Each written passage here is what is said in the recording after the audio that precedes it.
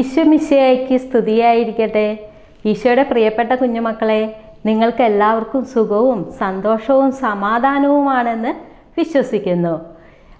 അങ്ങനെ തന്നെ ആവട്ടെ എന്ന് ടീച്ചർ പ്രാർത്ഥിക്കുന്നു. നിങ്ങളുടെ ചിരിയും കളിയും സന്തോഷമെല്ലാം നിങ്ങളുടെ കുടുംബത്തോടൊപ്പം എപ്പോഴും എന്നും ഉണ്ടാകട്ടെ. ഇന്ന് നമ്മൾ പഠിക്കാൻ പോകുന്നത് നാലാം ക്ലാസ്സിലെ അവസാനത്തെ പാഠഭാഗമായ പ്രാർത്ഥന ദൈവമായുള്ള സംഭാഷണമാണ്. ഇത് പഠിക്കുന്നതിന് മുമ്പ് നമുക്ക് കഴിഞ്ഞ ക്ലാസ്സിൽ എന്തൊക്കെയാണ് പഠിച്ചതെന്ന് നോക്കാം. കഴിഞ്ഞ ക്ലാസ്സിൽ എന്താണ് നിങ്ങൾ പഠിച്ചത്? പതിനാലാമത്തെ അധ്യായമായ കൂതാശാനുകരണങ്ങളെക്കുറിച്ചാണ് നിങ്ങൾ പഠിച്ചത്. അപ്പോൾ എന്താണ് കൂതാശാനുകരണങ്ങൾ നാലാം ക്ലാസ്സിൽ പഠിക്കുന്ന വിശ്വാസ പരിശീലന പാഠാവലി പുസ്തകത്തിന്റെ പേരെന്താണ്? ജീവന്റെ നീർച്ചാലുകൾ. ഈ ജീവന്റെ നീർച്ചാലുകൾ ഏതാണ്? കൂതാശകളാണ്. ഈ കൂതാശകളെ പറ്റിയാണ് നാലാം ക്ലാസ്സിലെ ടെക്സ്റ്റ് ബുക്ക് മുഴുവൻ നമ്മളോട് സംസാരിക്കുന്നത്. അപ്പോൾ ഈ കൂതാശകൾ സ്വീകരിക്കുന്നതിന് വേണ്ടി സഭാ മക്കളെ വിശദീകരിക്കുന്നതിനും ശക്തിപ്പെടുത്തുന്നതിനുമായിട്ട് സഭയിൽ സ്ഥാപിതമായിട്ടുള്ള ശുശ്രൂഷകളെയും കർമ്മങ്ങളെയും പ്രാർത്ഥനകളെയുമാണ് കൂതാശാനുകരണങ്ങൾ എന്ന് പറയുന്നത്. നാം എന്തൊക്കെ കൂതാശാനുകരണങ്ങളാണ് പഠിച്ചത്? വിവിധതരമായ കൂതാശാനുകരണങ്ങൾ നമ്മൾ പഠിച്ചു. ഒന്ന് എന്താണ്? മുറോൺ കൂതാശ അല്ലെങ്കിൽ സൈത്ത് വെഞ്ചിരിപ്പ്. അതായത് സ്ഥൈര്യലേപനത്തിനും മറ്റ് കൂതാശകൾക്കുമായിട്ട് മെത്രാൻ അല്ലെങ്കിൽ പുരോഹിതൻ വിശദീകരിക്കുന്നതിന് വേണ്ടി ഉപയോഗിക്കുന്ന തൈലമാണ് സൈത്ത് അല്ലെങ്കിൽ മുറോൺ കൂതാശ രണ്ടാമത്തത് എന്താണ്? ദേവാലയ കൂതാശ പള്ളി വെഞ്ചിരിപ്പ്. ഇതും നമ്മൾ ഒരു കൂതാശകരണമാണെന്ന് പഠിച്ചു. മൂന്നാമത്തത് എന്താണ്? വ്രതവാഗ്ദാനം. അതായത് സിസ്റ്റേഴ്സ് ആവാൻ പോകുന്നവർ സ്വീകരിക്കുന്ന ഒരു കൂതാശാനുകരണമാണ് വ്രതവാഗ്ദാനം. നാലാമത്തത് എന്താണ്? മൃതസംസ്കാരം. അതായത് മരിച്ചു കഴിഞ്ഞാൽ അടക്കുന്ന ശുശ്രൂഷ ശുശ്രൂഷയാണ് മൃതസംസ്കാരം. അഞ്ചാമത്തത് എന്താണ്? ആശീർവാദങ്ങൾ വെഞ്ചിരിപ്പുകൾ. അപ്പോൾ വെഞ്ചിരിപ്പ് എന്ത് എന്തൊക്കെയാണ് നമ്മൾ വെഞ്ചിരിക്കാറുള്ളത്? കൊന്ത വെഞ്ചിരിക്കാറുണ്ട് പേന വെഞ്ചിരിക്കാറുണ്ട് വണ്ടികൾ വെഞ്ചിരിക്കാറുണ്ട് വീട് വെഞ്ചിരിക്കാറുണ്ട്. ഇതെല്ലാം വെഞ്ചിരിപ്പിൽ പെടും. ഇനി അടുത്തത് എന്താണ്? ആശീർവാദം. അതായത് വിശുദ്ധ കുർബാനയിലെ വാഴ്വ് നൊവേനയിലെ ആശീർവാദം മറ്റ് ആശീർവാദ കർമ്മങ്ങൾ. ഇതെല്ലാമാണ് കൂതാശാനുകരണങ്ങൾ നമ്മൾ പഠിച്ചു. കൂതാശകളെക്കുറിച്ച് പഠിച്ചു കൂതാശാനുകരണങ്ങളെക്കുറിച്ച് പഠിച്ചു അല്ലേ? കഴിഞ്ഞ ക്ലാസ്സിൽ സാറ് തന്ന ആക്ടിവിറ്റീസും നിങ്ങളെല്ലാവരും മിടുക്കി മിടുക്കന്മാരായിട്ട് ചെയ്തു. അപ്പോൾ നമുക്ക് ഇന്നത്തെ ക്ലാസ്സിലേക്ക് കടക്കാം. ഇന്ന് എന്താണ് നമ്മൾ പഠിക്കാൻ പോകുന്നത്? പതിനഞ്ചാമത്തെ അധ്യായമായ പ്രാർത്ഥന ദൈവവുമായുള്ള സംഭാഷണമാണ്. ഇതിന്റെ പാർട്ട് വണ്ണിൽ നമ്മൾ എന്താണ് പഠിക്കാൻ പോകുന്നത്? പ്രാർത്ഥന എന്നാൽ എന്ത്? ആരോടാണ് പ്രാർത്ഥിക്കേണ്ടത്? എങ്ങനെയാണ് പ്രാർത്ഥിക്കേണ്ടത്? ഈശോ എപ്പോഴെല്ലാം പ്രാർത്ഥിച്ചു? ഈശോ എവിടെ വെച്ചെല്ലാം പ്രാർത്ഥിച്ചു? ഈശോ പഠിപ്പിച്ച പ്രാർത്ഥന ഏതാണ്? പ്രാർത്ഥനയുടെ ഘടകങ്ങൾ ഏതാണ്? ഇതൊക്കെയാണ് നമ്മൾ പഠിക്കാൻ പോകുന്നത്. അപ്പം നമുക്ക് ആദ്യമായിട്ട് പ്രാർത്ഥന എന്നാൽ എന്താണെന്ന് നോക്കാം. കുഞ്ഞുമക്കളൊക്കെ പ്രാർത്ഥനയെക്കുറിച്ച് ചെറിയ ക്ലാസ്സിലെല്ലാം പഠിച്ച് പഠിച്ചു കാണും. അപ്പോൾ നിങ്ങൾ പ്രാർത്ഥിക്കുന്ന കുട്ടികളുമാണ്. നമുക്ക് പ്രാർത്ഥന എന്നാൽ എന്താണെന്ന് നോക്കാം. ദൈവവുമായുള്ള സ്നേഹ സംഭാഷണമാണ് പ്രാർത്ഥന. അതായത് ആരോടാണ് സംസാരിക്കുന്നത്? ദൈവത്തോടാണ് സംസാരിക്കുന്നത്. അതായത് ദൈവവുമായിട്ട് നമ്മൾ നേരിട്ട് സംസാരിക്കുകയാണ് ചെയ്യുന്നത്. കുഞ്ഞുമക്കൾക്ക് ചിറകുകളുണ്ടോ? ഇല്ല അല്ലേ? ആ എന്നാൽ പ്രാർത്ഥന എന്ന ചിറക് വെച്ച് ദൈവത്തിലേക്ക് പറന്നുയരണം. അപ്പോൾ ദൈവവുമായുള്ള ആ സ്നേഹ സംഭാഷണത്തിലേക്കാണ് കുഞ്ഞുമക്കൾ പോകുന്നത്. മദർ തെരേസ എന്താണ് പറഞ്ഞതെന്ന് നിങ്ങൾക്ക് അറിയാമോ പ്രാർത്ഥനയെക്കുറിച്ച്? ആ മദർ തെരേസ പറഞ്ഞു എനിക്ക് എന്നിൽ തന്നെ ആശ്രയിക്കാനാവാത്ത കാരണം ഞാൻ ഇരുപത്തിനാല് മണിക്കൂറും ദൈവത്തിൽ ആശ്രയിക്കുന്നു. അതായത് കുഞ്ഞുമക്കൾ നിരന്തരമായിട്ട് പ്രാർത്ഥിക്കണമെന്നാണ് പറഞ്ഞിരുന്നത്. എല്ലാ ദിവസവും കുഞ്ഞുമക്കൾ ഭക്ഷണം കഴിക്കാറുണ്ടോ? ഉണ്ട് അല്ലേ? അതുപോലെ എല്ലാ ദിവസവും നമ്മൾ ഈശോനോട് പ്രാർത്ഥിക്കണം. മടുപ്പ് കൂടാതെ പ്രാർത്ഥിക്കണം. കുഞ്ഞുമക്കൾ ഒരു വീട്ടിന്റെ മുറ്റത്ത് ഒരു ചെടി നട്ടു എന്ന് വിചാരിക്കും. ആ ചെടിക്ക് എന്തൊക്കെ വേണം? വെള്ളം വേണം വളം വേണം പിന്നെ സൂര്യപ്രകാശം വേണം അല്ലേ? അല്ലെങ്കിൽ എന്തു പറ്റും? അത് കരിഞ്ഞു പോകും. ഇതുപോലെ നമ്മുടെ ജീവിതത്തിലും പ്രാർത്ഥന വേണം. പ്രാർത്ഥനയില്ലെങ്കിൽ നമുക്ക് സന്തോഷമുണ്ടാവുകയില്ല. അപ്പോൾ എങ്ങനെയാണ് പ്രാർത്ഥിക്കേണ്ടതെന്ന് നമുക്ക് നോക്കാം. എങ്ങനെ വേണം പ്രാർത്ഥിക്കാൻ? ആ ദൈവത്തിൽ വിശ്വസിച്ച് അടിയുറച്ച് വിശ്വസിച്ച് വേണം നമ്മൾ പ്രാർത്ഥിക്കാനായിട്ട്. അപ്പം നമുക്ക് പഴയ നിയമത്തിലേക്ക് പോയാലോ? ആ പഴയ നിയമത്തിൽ ഹന്നയ്ക്ക് മക്കളുണ്ടായിരുന്നില്ല. ഹന്ന എന്താ ചെയ്തത്?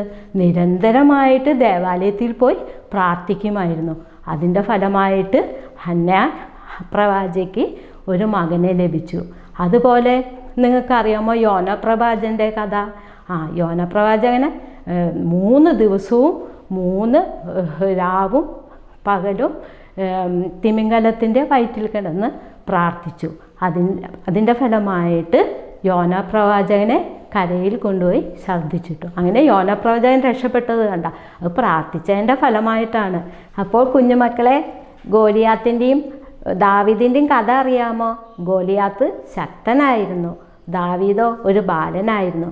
ഗോലിയാത്ത് കുറേ യുദ്ധങ്ങൾ ജയിച്ചിട്ടുള്ളതാണ്. പക്ഷേ ദാവീദ് ദൈവത്തിൽ ആശ്രയിച്ച കാരണം ഈ യുദ്ധത്തിൽ ദാവീദ് ജയിച്ചു. അപ്പോൾ എന്തുകൊണ്ടാണ് ഇവിടെ ദാവീദ് ജയിക്കാൻ കാരണം? ദൈവത്തിൽ അടിയുറച്ച് വിശ്വസിച്ച കാരണം. അപ്പം നമുക്ക് പുതിയ നിയമത്തിലേക്ക് കടന്നാലോ? രോഗി സൗഖ്യങ്ങൾ ഉണ്ടായത് എങ്ങനെയാണെന്ന് നമുക്ക് നോക്കാം. തളർവാദ രോഗി സുഖപ്പെട്ടു അന്ധന് കാഴ്ച ലഭിച്ചു പിശാചുവാദിനെ സുഖപ്പെടുത്തി രക്തസ്രാവ സ്ത്രീയെ സുഖപ്പെടുത്തി. ഇതെല്ലാം ദൈവത്തിൽ അടിയുറച്ച് വിശ്വസിച്ച് പ്രാർത്ഥിച്ചതുകൊണ്ടാണ്. അപ്പം നമുക്ക് ദൈവത്തിൽ ആശ്രയിച്ച് അതായത് ദൈവത്തിൽ ആഴമായി വിശ്വസിച്ച് പ്രാർത്ഥിക്കണം. ഇതിനെ ആസ്പദമാക്കി ആഷ്മി ചേച്ചി ഒരു കഥ പറയാനായിട്ട് പോകുന്നു. ഒരിടത്തൊരിടത്ത് ഒരു രാജാവും രാജ്ഞിയും ഉണ്ടായിരുന്നു. പക്ഷെ രാജാവിന് രാജ്ഞിക്കും മക്കളുണ്ടായിരുന്നില്ല പക്ഷെ ഒരു ദിവസം രാജാവിന് ഒരു സ്വപ്നദർശനമുണ്ടായി അത് എന്താണെന്നറിയൂ? ഏഴ് വയസ്സ് മാത്രം പ്രായമുള്ള ഒരു ആൺകുഞ്ഞിനെ മലമുകളിൽ കൊണ്ടുപോയി ബലിയർപ്പിക്കണം എന്നതായിരുന്നു. ഈ വിവരം രാജാവ് മന്ത്രിയോട് പറഞ്ഞു. മന്ത്രിയാണെങ്കിൽ ഇത് എല്ലാവർക്കും വിളംബരം ചെയ്തു. പക്ഷേ രാജാവ് രാജ്ഞിയും ആഴ്ചകളോളം കാത്തിരുന്നിട്ടും ആരും വന്നില്ല. രാജാവ് കൂടുതൽ സമ്മാനങ്ങളും പാരിതോഷിതങ്ങളും നൽകാമെന്ന് പറഞ്ഞു. എന്നിട്ടും ആരും വന്നില്ല. രാജാവ് ദുഃഖിതനായി. അങ്ങനെ ഇരിക്കെ ഒരു ദിവസം കൊട്ടാരത്തിന്റെ മട്ടിപ്പാവിൽ ഉല്ലാത്തിക്കൊണ്ടിരിക്കുന്ന രാജാവ് ദൂരെ നിന്ന് ഒരു അച്ഛനും ഒരു അമ്മയും ഒരു ഏഴ് വയസ്സ് മാത്രം പ്രായം തോന്നിക്കുന്ന ഒരു കുട്ടിയും വരുന്നത് കണ്ടു. ഇത് കണ്ട് രാജാവ് സന്തോഷിച്ചു. എന്നിട്ട് രാജാവ് മന്ത്രിയെ താരോട്ടയച്ചു കുട്ടിയെ സ്വീകരിച്ചു. മാതാപിതാക്കൾക്ക് ധാരാളം പാരിതോഷിതങ്ങളും സമ്മാനവും നൽകി പറഞ്ഞയച്ചു. അങ്ങനെ പിറ്റേ ദിവസം രാവിലെ കുട്ടിയെ കുളിപ്പിച്ചൊരുക്കി. കുട്ടിയും രാജാവും മന്ത്രിമാരും ഒരുമിച്ച് മലമുകളിലേക്ക് പോയി. മലമുകളിൽ ബലിപീഠം ഒരുക്കിയതിനു ശേഷം രാജാവ് കുട്ടിയോട് ചോദിച്ചു നിനക്ക് അവസാനമായി എന്തെങ്കിലും എന്നോട് ചോദിക്കാനുണ്ടോ? അവൻ ഉണ്ട് എന്ന് പറഞ്ഞു. അങ്ങനെ ഇരിക്കെ എല്ലാവരും കാണുകെ അവൻ ആകാശത്തിലേക്ക് നോക്കി കൈകൾ കൂപ്പി ദൈവത്തോട് പ്രാർത്ഥിച്ചു. പ്രാർത്ഥിച്ചതിന് ശേഷം അവൻ രാജാവ് കാണുകെ മണ്ണിൽ നാല് വര വരച്ചു. രണ്ടാമത് പ്രാർത്ഥിച്ചതിന് ശേഷം അവൻ ഒന്നും രണ്ടും മൂന്നും വരകൾ മായ്ച്ചു. ഇതിനുശേഷം അവൻ ബലിപീഠത്തിൽ പോയി കിടന്നു. ഇത് കണ്ട് രാജാവ് അത്ഭുതത്തോടെ ചോദിച്ചു നീ എന്താണ് ഈ ചെയ്തത്? ഈ നാലാമത്തെ വര മായ്ക്കാത്തതിന്റെ രഹസ്യം എന്താണ്? അപ്പോൾ അവൻ പറഞ്ഞു ഒന്നാമത്തേത് ആരെല്ലാം എന്നെ ഉപേക്ഷിച്ചാലും എന്റെ അമ്മ എന്നെ ഉപേക്ഷിക്കുകയില്ല എന്ന് കരുതി. പക്ഷെ എന്റെ അമ്മ എന്നെ ഉപേക്ഷിച്ചു. അതുകൊണ്ടാണ് ഞാൻ ഒന്നാമത്തെ വരം വായിച്ചത് രണ്ടാമത്തേത് എന്റെ അമ്മ എന്നെ ഉപേക്ഷിച്ചാലും എന്റെ അച്ഛൻ എന്നെ ഉപേക്ഷിക്കുകയില്ല എന്ന് കരുതി. പക്ഷെ എന്റെ അച്ഛനെ ഉപേക്ഷിച്ചു.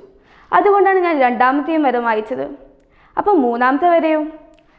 ആരെല്ലാം എന്നെ ഉപേക്ഷിച്ചാലും രാജ്യം ഭരിക്കുന്ന രാജാവ് എന്നെ ഉപേക്ഷിക്കില്ല എന്ന് കരുതി. പക്ഷെ ഇപ്പോൾ രാജാവ് എന്നെ ഉപേക്ഷിച്ചു. അതുകൊണ്ടാണ് ഞാൻ മൂന്നാമത്തെയും വരം അയച്ചത്. അപ്പോൾ നാലാമത്തെ വരെ മായ്ക്കാത്തതിന്റെ രഹസ്യം എന്താണ്? ആരെല്ലാം എന്നെ ഉപേക്ഷിച്ചാലും ദൈവം എന്നെ ഉപേക്ഷിക്കുകയില്ല. ഞാൻ വിശ്വാസത്തോടെ പ്രാർത്ഥിച്ചാൽ ദൈവം എന്നെ കൈവിടുകയില്ല. വിശ്വാസത്തോടെയുള്ള പ്രാർത്ഥനയുടെ ശക്തി അവന്റെ മുഖത്ത് ഒരു പ്രകാശമായി നിറഞ്ഞു നിന്നു. വിശ്വാസത്തോടെയുള്ള പ്രാർത്ഥനയുടെ ആഴം മനസ്സിലാക്കിയ രാജാവ് എല്ലാവരും കേൾക്കെ ഉച്ചസ്വരത്തിൽ വിളിച്ചു പറഞ്ഞു എനിക്കൊരു മകൻ ജനിക്കണമെങ്കിൽ അത് ഇവനെപ്പോലെ ആയിരിക്കണം. അത് ഇവൻ തന്നെ എന്ന് പറഞ്ഞ് കുട്ടിയെ കെട്ടിപ്പിടിച്ച് ഉമ്മ വെച്ച് കൊട്ടാരത്തിൽ കൊണ്ടുപോയി. കൂട്ടുകാരെ ഈ കഥ ഇഷ്ടമായോ? ഈ കഥയിൽ നിന്ന് എന്തു മനസ്സിലാക്കാം? ആ കുട്ടിയുടെ വിശ്വാസത്തോടുള്ള പ്രാർത്ഥനയുടെ ആരം നിങ്ങൾ മനസ്സിലാക്കിയോ? അതുപോലെ തന്നെയായിരിക്കണം നിങ്ങൾ ഓരോരുത്തരുടെയും പ്രാർത്ഥന. ഇനി നമുക്ക് എപ്പോഴൊക്കെയാണ് ഈശോ പ്രാർത്ഥിച്ചതെന്ന് നോക്കാം. എപ്പോഴൊക്കെയാണ് ഈശോ പ്രാർത്ഥിച്ചത്? ആ വേദനകളുണ്ടായപ്പോൾ പ്രാർത്ഥിച്ചു. അത്ഭുതങ്ങൾ നടത്തുന്നതിന് മുമ്പ് പ്രാർത്ഥിച്ചു. രോഗസൗഖ്യം നടത്തുന്നതിന് മുമ്പ് പ്രാർത്ഥിച്ചു. പിന്നെ കുരിശ് മരണ സമയത്തെല്ലാം യേശു പ്രാർത്ഥിച്ചു. അതുപോലെ ഓരോ കാര്യങ്ങളും ചെയ്യുമ്പോഴും യേശു അതിനു മുമ്പായിട്ട് ദൈവത്തോട് പ്രാർത്ഥിക്കുമായിരുന്നു.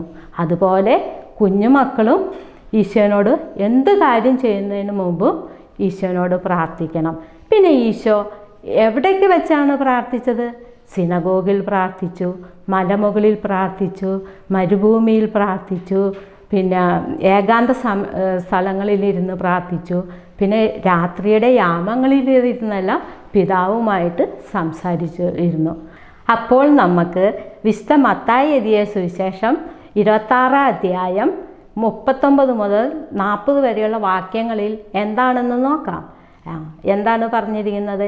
എന്റെ പിതാവേ സാധ്യമെങ്കിൽ ഈ പാനപാത്രം എന്നിൽ നിന്ന് അകന്നു പോകണമേ എങ്കിലും എന്റെ ഹിതമല്ല അങ്ങയുടെ ഹിതം നിറവേറട്ടെ എന്നാണ് പറഞ്ഞത്. എന്നിട്ടും യേശുവിന് കുരിശുമരണം വഹിക്കേണ്ടി വന്നില്ലേ? ഇതുപോലെ നമ്മുടെ പല കാര്യങ്ങളും ചിലപ്പോൾ സാധിച്ചു എന്ന് വരില്ല. അപ്പോൾ കുഞ്ഞുമക്കൾ എന്താണ് ചെയ്യേണ്ടത്? അത് ദൈവത്തിന്റെ ഇഷ്ടമാണെന്ന് നിങ്ങൾ ചിന്തിക്കണം. അപ്പോൾ കുഞ്ഞുമക്കൾ വിഷമിക്കേണ്ട ചിലപ്പോൾ ആഴ്ചകളോളം കാത്തിരിക്കേണ്ടി വരും.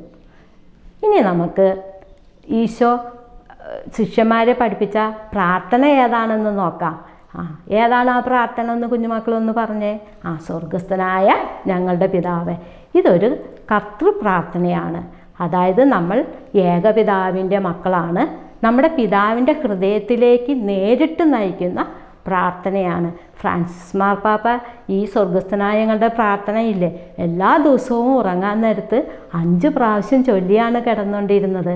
അപ്പോൾ നമുക്ക് മക്കളെ ഇതിന്റെ അർത്ഥം എന്താണെന്ന് നിങ്ങൾക്ക് മനസ്സിലാവുന്ന രീതിയിൽ സിമ്പിളായിട്ട് ഞാൻ ടീച്ചർ പറഞ്ഞു തരാം.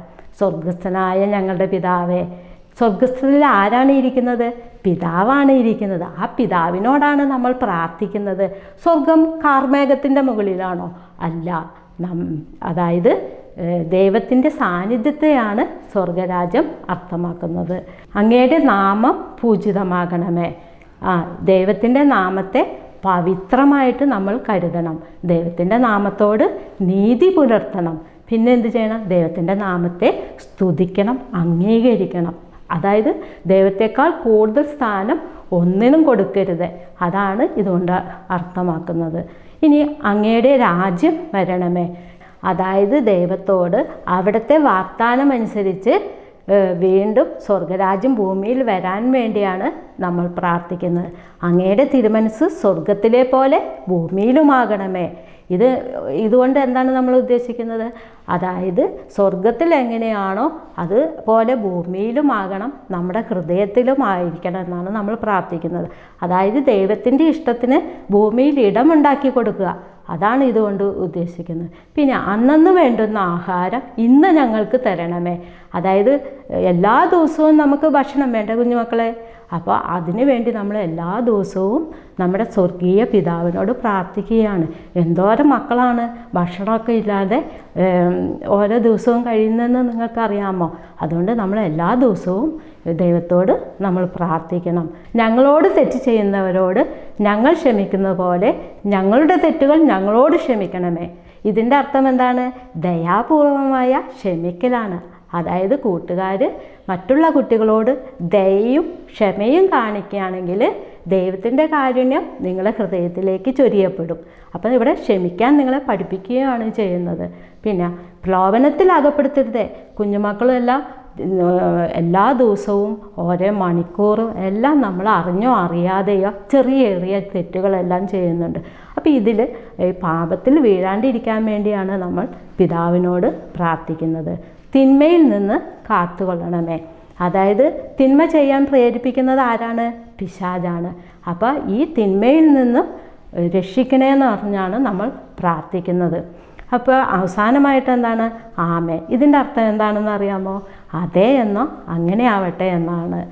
ആ അല്ലേ? അപ്പം നമ്മൾ ഇത് കുഞ്ഞുമക്കളൊക്കെ ഇത് മീനിങ് വെച്ചാണോ പ്രാർത്ഥിക്കുന്നത്? അല്ല. ഈ ടീച്ചറും ചില സമയങ്ങളിലൊക്കെ അർത്ഥം വെച്ച് പ്രാർത്ഥിക്കാറില്ല. ഈ പ്രാർത്ഥന നമുക്ക് ഒരു ഗാനരൂപത്തിൽ ശ്രവിക്കാം. ആകാശങ്ങളിലിരിക്കും ഞങ്ങളുടെ അനശ്വരനായ പിതാവേ അവിടുത്തെ നാമം വാഴ്ത്തപ്പെടേണമേ അവിടുത്തെ രാജ്യം വരേണമേ. സ്വർഗത്തിലെ പോലെ ഭൂമിയിലും നിന്റെ സ്വപ്നങ്ങൾ വിടരേണമേ. വിശന്നു നൽകണമേ. ആമീൻ. ആമീൻ. ആമീൻ. ആകാശങ്ങളിലിരിക്കും ഞങ്ങളുടെ അനശ്വരനായ പിതാവി. അവിടുത്തെ നാമം വാർത്തപ്പെടേ രാജ്യം വരേണമേ. ഞങ്ങൾ തൻ കടങ്ങൾ പൊറുക്കേണമേ. അങ്ങു ഞങ്ങളെ നയിക്കണമേ. അഗ്നിപരീക്ഷയിൽ വീരാതെ ഞങ്ങളെ രക്ഷിച്ചിടണമേ